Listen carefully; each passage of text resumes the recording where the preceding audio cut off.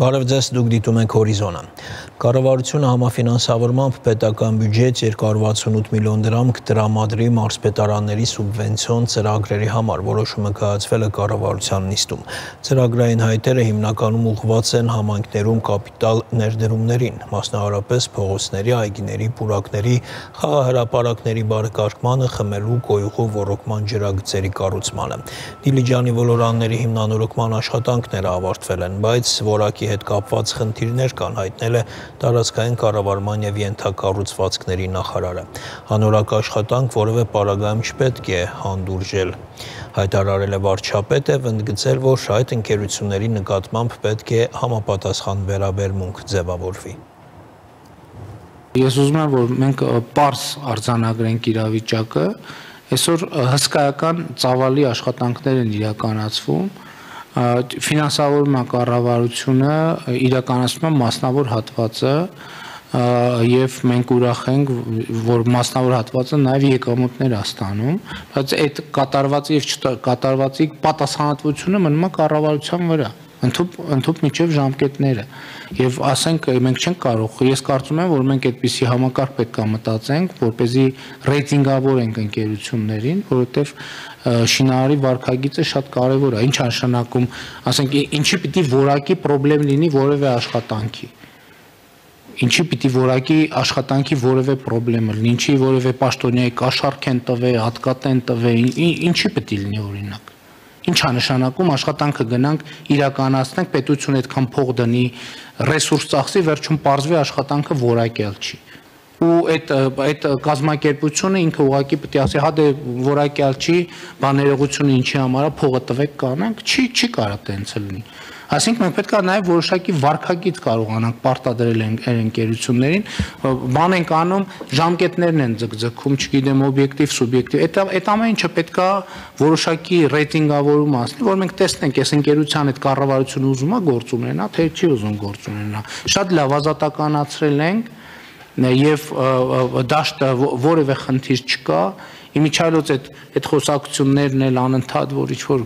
քննարկում են այսօր այսօր երկրում շինարարական ընկերություն կա որ աշխատանքի խնդրեմ ունի որ աշխատանք չի ստանում չկա տենց ընկերություն ընդհակառակ այնքան աշխատանք են վերցնում չեն հասցնում անեն արդեն մենք ենք բան իրանց հետևից ընկնում խնդրողի կարգավիճակում բայ այս աշխատանքն էլ արեք այս այդ ի ձև է Մի հատ էլ վերջում parzում է անորակ են անում, բան, այսպես ջուրտուքշի արա գնա որ մյուս աշխատանքը անենք, չի լինի տենց։ Հստակ պետքա կառավարությունը ունենա լծակներ, որովհետև այդ միլիարդներ ենք դնում, հետո parzում է որ որակով չեն արել։ Իսկ ինչի չեն որակով արել։ Բայց դրան պետք է եւ հետո էլ մենք իրանց ժամանակը կորցնում ենք, իրանք վերականգնում ենք, մենք էլի նույն գումարը տանում ենք, վճարում ենք։ Այսինքն մենք մենք ոչ մի բան կոմպենսացիա չենք ստանում այն բանի համար, որ իրանք աշխատանք ստանում ենք։ Ուղանքներ կան նախատեսված բան վարչապետ պայմանագրային պարտավորությունների ժամանակին չանելու համար պատասխանատվության միջոցներ կան։ Դե պետքա դա առավել խստացնել։ Ես ուզում եմ սա ընդգծել։ ուզում եմ ընդգծել Այն ժամանակ որ սարքած ճանապարհը քանդվում էր, որ ասում են քեզ ոնց է դա ասում են ստեղս ենք տալիս ստեղ ենք ինչ ինչ անենք մի շնեղացնում ենք մի բարակացնում ենք ինչ չես ենք անում չի այդ ռեժիմը պետքա վերջացնել եւ պետքա որակի նկատմամբ լինի ծայրահեղ հսկողություն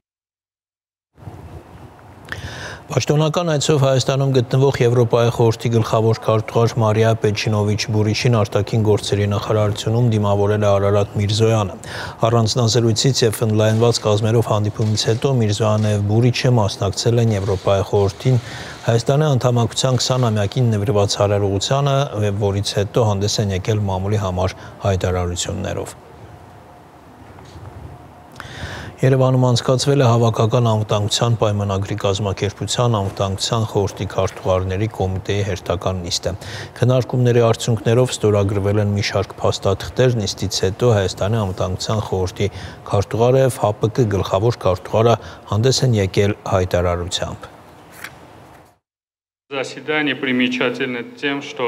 Այսինքն նշանակալի է նրանով, որ մի կողմից ընթացիկ տարին ՀՊԿ-ի համար հոբելյանական է։ Մենք նշում ենք ՀՊԿ պայմանագրի ստորագրման 30 եւ կազմակերպության ստեղծման 20-ամյակը։ Մյուս կողմից այն անց է կացվում ՀՊԿ-ի ազդեցության գոտում եւ աշխարհում աճող անվտանգային մարտահրավերների ու սպառնալիքների ֆոնին։ Բնականաբար այդ իրողությունը պահանջում է ժամանակին ձեռնարկված արդյունավետ միջոցներ՝ ուղղված այդ մարտահրավերների չեզոքացմանը եւ ՀՊԿ անդամների անվտանգության ապահովմանը։ Այդ տեսանկյունից մենք հատուկ ուշադրություն ենք դարձրել ՀՊԿ ազդեցության գոտում ստեղծված իրավիճակին, ինչպես նաև ահաբեկչության դեմ պայքարին։ ՀՊԿ համակարգում համատեղ կառավարման մարմինների ուժերի եւ ֆինանսների ձևավորման ու պատրաստման այդ կառույցի ռազմական բաղադրիչի հզորացման հարցերին։ Նիստի ընթացքում ստորագրվել են մի շարք փաստաթղթեր։ В ходе заседания Նիստի ընթացքում մենք գնահատական ենք տվել աշխարհում և ՀԱՊԿ ազդեցության գոտում ստեղծված ռազմաքաղաքական իրավիճակին։ Ցավոք պետք է արձանագրենք համաշխարհային անվտանգության համակարգի ճգնաժամը։ Տասնամյակներով մշակված պայմանավորվածությունները փաստացի դադարում են գործել, իսկ վստահությունը հիմնական դերակատարների միջև հասնում է ճգնաժամային նիշի։ ՀԱՊԿ-ի սկզբունքային դիրքորոշումը, որն այսօր շեշտվել է ելույթների ընթացքում, մնում է անփոփոխ։ Մենք համոզված ենք, որ բոլոր առկա հակասությունները պետք է քաղաքական հանգուցյալի ցուցալուծում ստանան եւ կոչ են կանում բոլոր այն ուժերին, որոնք պայմանավորում են միջազգային անվտանգությունը։ Անվտանգության ապահովման գլխավոր գործիքներից մեկը ՀԱՊԿ-ի ուժերի եւ միջոցների ավելացումն է, ինչպես նաեւ իրավապահ համակարգերի հետ սերտ համագործակցությունը։ Հաշվի առնելով մեր պետությունների անվտանգային մարտահրավերներին եւ արկա սպառնալիքներին արագ արձագանքելու անհրաժեշտությունը, ՀԱՊԿ-ի քարտուղարությունը նախապատրաստում է իրավական ակտերի փաթեթ ուղղված ճգնաժամային արձագանքման համակարգի կատարելագործմանը, որը նախատեսում ենք ներկայացնել կանոնադրական Պետական խորհրդի աշնանային հանդիպմանը։ Տեղեկատվական եւ տեղեկատվական տեխնոլոգիաների ոլորտներում աճող մարտահրավերների եւ սպառնալիքների պայմաններում կազմակերպության բոլոր պետությունների համար կարևոր է տեղեկատվական ենթակառուցվածքների անվտանգության ապահովումը։ Իհարկե ամենակարևոր առաջնահերթությունը տեղեկատվական տեխնոլոգիաների ոլորտում հանցագործության դեմ ակտիվ հարձակողական պայքարն է։ Այսպիսով հաշվի առնելով ստեղծված իրավիճակը մենք պետք է լուրջ խնդիրներ իրագործենք ամրապնդելու մեր կազմակերպության համապարփակ ներուժը, շարունակելու աշխատանք միջազգային ասպարեզում ՀԱՊԿ-ի հեղինակության բարձրացման ուղղությամբ։ Հայաստանի Հանրապետության անվտանգության խորհրդի քարտուղար Հարմեն Գրիգորյանը երեք հանդիպել է իր ռուս պաշտոնակցի Պատրուշևի հետ քննարկվել է արցելի լայն շրջանակ Պատրուշևը ընդգծել է, որ Հայաստանը Ռուսաստանի ռազմավարական կարևոր գործընկերն եւ Մոսկվան աջակցում է Հայաստանին տարածաշրջանային անվտանգության ապահովման գործընթացներում։ Գրիգորյանը ներկայացրել է անվտանգային եւ հայ-ադրբեջանական սահմանային իրավիճակը, սահմանազատման եւ սահմանագծման հանձնաժողովների աշխատանքների ընթացքը, ինչպես նաեւ հայ-թուրքական հարաբերությունների կարգ կարգավորման գործընթացը։ Արտաքին գործերի նախարարության մամուլի քարտուղար Վահան Հունանյան արձագանքել է երեք Բաքվում կայացած 9-րդ գլոբալ համաժողովի բացման ելույթում Ադրբեջանի նախագահի կողմից արած հայտարարություններին։ Ալիևը հայտարարել էր, թե իբր Հայաստանը հրաժարվում է Հայաստանի, Վրաստանի եւ Ադրբեջանի արտաքին գործերի նախարարների երրակողմ հանդիպումից։ Մենք ոչ միայն չենք հրաժարվում, այլև մշտապես դրական ենք արտահայտվել նման հանդիպման մասին, միաժամանակ նշելով, որ պետք է աշխատանք տանել հանդիպման արդյունավետությունը ապահովելու ուղղությամբ, նշել է արտաքին գործերի նախարարության մամուլի քարտուղարը։ Պաշտպանության նախարար Պապիկյանը այցելել է Հանրապետության հարավ-արևմտյան սահմանագոտի ցանոթացել է առաջնագծի կահավորման եւ տեխնիկական միջոցներով հագեցման ուղղությամբ տարվող աշխատանքներին։ Նախարարին ներկայացվել են մարտական դիրքերի կահավորման ինժեներական եւ տեխնիկական նոր լուծումները, որոնք առավել անվտանգ են դարձնելու մարտական հերթապահությունը։ Ազգային անվտանգության ծառայությունը հայտնում է, որ ձերբակալվել է զինված ուժերի հրթիռային զորքերի եւ հրետանու նախկին վարչության պետ գեներալ-մայոր Արմեն Հարությունյանը։ Նախաքնությամբ ողջվել է, որ Հարությունյանը օժանդակելով մատակարար ընկերության տնորենին եւ սեփականատիրոջը թաքցրել է մատակարարված գույքի տակտիկա-տեխնիկական բնութագրին չհամապատասխանելու փաստը։ Արդյունքում նախարարությանն են մատակարարվել ընդհանուր 1 միլիոն 83 հազար ԱՄՆ դոլարի չեխական արտադրության հրանոթի արկեր, որոնք իրենց տեխնիկական հատկանիշներով էապես զիջել են այն հրանոթի արկերին, որոնց համար դրանք մատակարարվել են, մասնավորապես չեն ապահովել թիրախի խոցման հեռավորությունը։ Ձերկ բերված տվյալը խմբականակի արկերը կիրառվել են 44 օրյա պատերազմի ընթացքում, սակայն վերենշված պատճառով հնարավոր չի եղել լուծել մարտական խնդիրները։ Նույն գործի շրջանակներում մեղադրանք է առաջադրվել նաև մատակարար ընկերության տնօրենին եւ սեփականատիրոջը։ Մարդու իրավունքների պաշտպանը հանդիպել է Միացյալ Նահանգների պետքարտուղարի եվրոպական եւ եվրասիական հարցերով փոխտեղակալի հետ ներկայացրել Լեռնային Ղարաբաղում ապրող անձանց իրավունքների հետ կապված խնդիրները Արցախայցյան նկատմամբ էթնիկ ատելության, ադրբեջանական քաղաքականության չդադարող դրսևորումները։ Ուկրաինայում արդեն 114 օր շարունակվող ռազմական գործողությունների ֆոնին Կիև են ժամանել Ֆրանսիայի, Գերմանիայի, Իտալիայի, Ռումինիայի առաջնորդները եւ հայտարարել են, որ կողմ են Ուկրաինային անհապաղ Եվրամիության տեխնացուի կարգավիճակ տրամադրելուն։ Այս հայտարարության արձագանքել է Ռուսաստանի արտաքին գործերի նախարարությունը։ Ուկրաինայում ռազմական գործողությունները չեն դադարում գրեթե 4 ամիս։ Երկրի տարբեր քաղաքներում լսվել են պայթյունի ձայներ, միացվել են օթային տագնապի ազդանշանները։ Մարտական գործողությունները թեժ են Սևերոդոնեցկի, Լիսիչանսկի, Բախմուտի եւ Սլավյանսկի ուղություններում։ Ռուսական ուժերի հիմնական ջանքերը կենտրոնացած են Սևերոդոնեցկի նկատմամբ լիակատար վերահսկողություն սահմանելու վրա։ Ռուսները նաեւ ուժեր են կենտրոնացնում Սլավյանսկի վրա հարձակման համար։ Հակառակորդը հրետանային կրակ է բացել Սումիի եւ Չեռնիգովի շրջաններում գտնվող ուկրաինական ստորաբաժանումների ուղությամբ։ Խարկովի ուղությամբ ռուսական բանակը իր ուժերը կենտրոնացնում է նախկինում զբաղեցրած դիրքերը պահելու վրա։ Սլավյանսկի ուղությամբ հակառակորդը շարունակում է գրոհը։ Հակառակորդը շարունակում է արկելափակել քաղաքացիական նավագնացությունը Սև ծովի հյուսիս-արևմտյան հատվածում։ Նախորդ օրվա ընթացքում ուկրաինական ուժերը Դոնեցկի շրջանում խոցել են մի 35M ուղաթիռ։ Ուկրաինային հասցված հարվածների մասին նոր տեղեկություններ է հաղորդել Ռուսաստանի պաշտպանության նախարարությունը։ Вооруженные силы Российской Федерации продолжают специальную военную операцию на Украине. Ռուսական հակաօթային պաշտպանության համակարգերը ոչնչացրել են Ուկրաինայի ռազմաօթային ուժերի Սու-25 ինքնաթիռը Խարկովի մարզում։ Ոչնչացվել է նաև ուկրաինական 15 անօթաչու թռչող սարք։ Հրթիռային զորքերը եւ հրետանին խոցել են Ուկրաինայի զինված ուժերի կենթանի ուժի եւ ռազմական տեխնիկայի կենտրոնացման 203 տարածք, ինչպես նաև հրետանային ստորաբաժանումների 38 կրակային դիրքեր։ Հարվածների արդյունքում զոհվել է ավելի քան 350 ուկրաինացի զինվորական, ոչնչացվել են անօթաչու թռչող սարք սարքերի հրամանատարական կետեր, 3 գրադ հրթիռահրետանային կայանք, 3 դաշտային հրանոթ։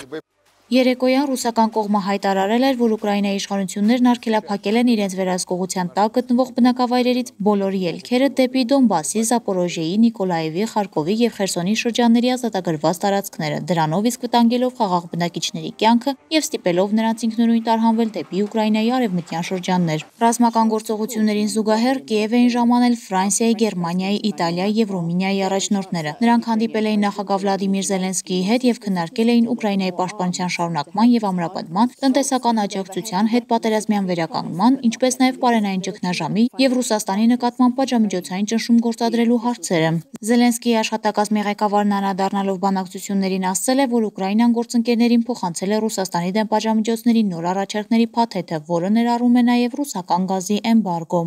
Իրենց հերթին Ֆրանսիայի, Գերմանիայի, Իտալիայի եւ Ռումինիայի առաջնորդները հայտարարել են, որ կողմ են Ուկրաինային անհապաղ Եվրամիության տեխնացուի կարգավիճակ տրամադրելուն։ Իսկ Ռուսաստանի արտաքին գործերի նախարարը անդրադառնալով այս թեմային հայտարարել է, որ եթե Եվրամիությունը Ուկրաինային տեխնացուի կարգավիճակ տա, ապա կանտեսի նման կարգավիճակ տրամադրելու իր իսկ չափանիշները։ Իդեպ Եվրահանձնաժողովը այսօր վերջնական քննարկում կանցկացնի Եվրամիության տեխնացու երկրի կարգավիճակ ստանալու Ուկրաինայի դիմումի վերաբերյալ եւ կհայտարարի իր դիրքորոշման մասին։ Իսկ հունիսի 20 23-ից 24-ը կայանալիք Եվրամիության գագաթնաժողովում կքննարկվի տեխնացու երկրների կարգավիճակի հարցը։